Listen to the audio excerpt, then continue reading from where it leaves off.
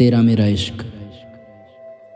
ਜਿਵੇਂ ਧਰਤੀ ਤੇ ਅੰਬਰ, ਜਿਵੇਂ ਰੇਤ ਤੇ ਸਮੁੰਦਰ, ਜਿਵੇਂ ਚਕੋਰ ਨੂੰ ਚੰਨ, ਜਿਵੇਂ ਗੁਰਬਤ ਨੂੰ ਤਨ ਜਿਵੇਂ ਲੀਕ ਦੇ ਦੋ ਸਿਰੇ, ਜਿਵੇਂ ਗਵਾਚਾ ਆਸ਼ਿਕ, ਇਸ਼ਕ ਲੱਭਦਾ ਫਿਰੇ।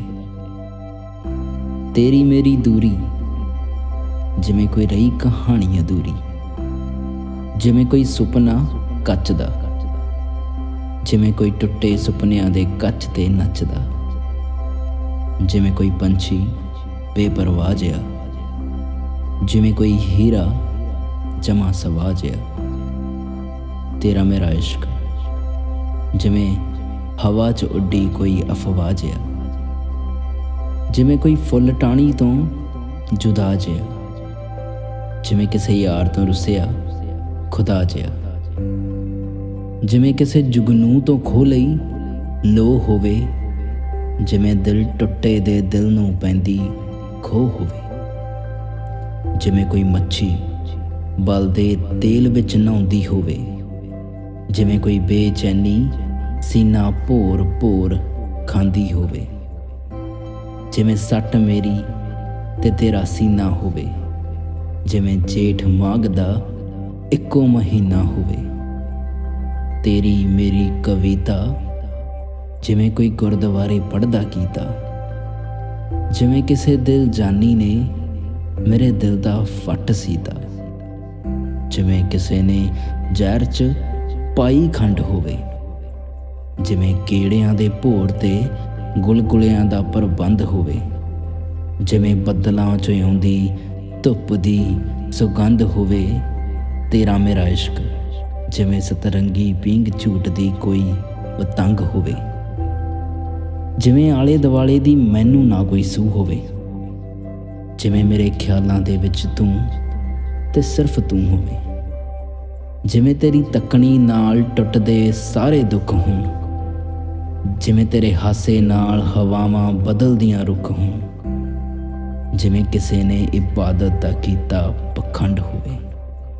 ਜਿਵੇਂ ਕਿਸੇ ਨੇ ਬੂਹਾ ਸਵਰਗਾਂ ਦਾ ਕੀਤਾ ਬੰਦ ਹੋਵੇ, ਜਿਵੇਂ ਤੇਰੀ ਰੂਹ ਮੇਰੇ ਇਸ਼ਕ 'ਚ ਹੋਈ ਫਨਾ ਹੋਵੇ, ਜਿਵੇਂ ਮੇਰੇ ਮਰਨ ਤੇ ਤੇਰਾ ਆਉਣਾ ਵੀ ਮਨਾ ਹੋਵੇ। ਤੇਰਾ ਮੇਰਾ ਗੀਤ ਜਿਵੇਂ ਜ਼ਮਾਨੇ ਨਾਲ ਬਦਲਦੀ ਕੋਈ ਰੀਤ ਹੋਵੇ, ਜਿਵੇਂ ਜਾਣ ਬੁੱਝ ਵਿੱਚ ਬਾਜ਼ਾਰ ਵੇਚੀ ਕੋਈ ਪਰੀਤ ਹੋਵੇ, ਜਿਵੇਂ ਚਾਨਣ ਹਨੇਰਾ ਇੱਕੋ ਕਮਰੇ 'ਚ ਬੰਦ ਹੋਣ। ਜਿਵੇਂ ਵਿਸ਼ਕਰਮਾ ਜੀ ਨੇ ਖੁਦ ਭੰਨੇ ਸਾਰੇ ਸੰਦ ਹੋਣ।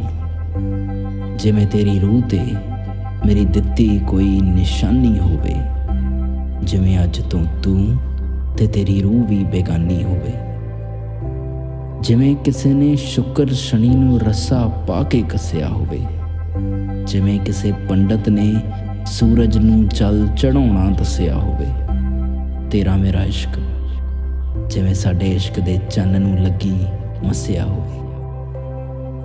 ਜਿਵੇਂ ਕੋਈ ਤਾਰਾ ਟੁੱਟਣ ਤੇ ਬਾਕੀ ਤਾਰੇ ਰੋਂਦੇ ਹੋਣ, ਜਿਵੇਂ ਮਗਰਮੱਛ ਤਲਾ ਕੰਡੇ ਆਪਣੇ ਹੰਝੂ ਧੋਂਦੇ ਹੋਣ, ਜਿਵੇਂ ਕਿਸੇ ਦਰਿਆ ਦਾ ਮਿੱਠਾ ਪਾਣੀ ਖਾਰਾ ਹੋਵੇ, ਜਿਵੇਂ ਕਿਸੇ ਚਟਾਨ ਦਾ ਨਮਕ ਨੀਰਾ ਗਾਰਾ ਹੋਵੇ, ਜਿਵੇਂ ਕਿਸੇ ਤੇ ਤਰਸ ਖਾ ਕੇ ਧੁੱਪ ਵੀ ਕਰਦੀ ਛਾਂ ਹੋਵੇ, ਜਿਵੇਂ ਕਲੇਜਾ ਚੀਰ ਮਮਤਾ ਨੁਮਾਇਸ਼ ਕਰਦੀ ਮਾਂ ਹੋਵੇ।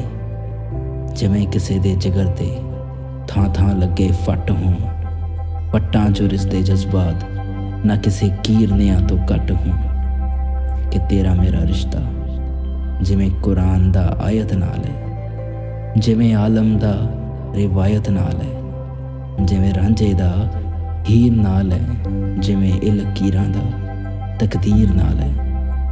ਜਿਵੇਂ ਸੂਰਜ ਦਾ ਧੁੱਪ ਨਾਲ ਹੈ, ਜਿਵੇਂ ਹਰਮਨ ਦਾ ਚੁੱਪ ਨਾਲ ਹੈ।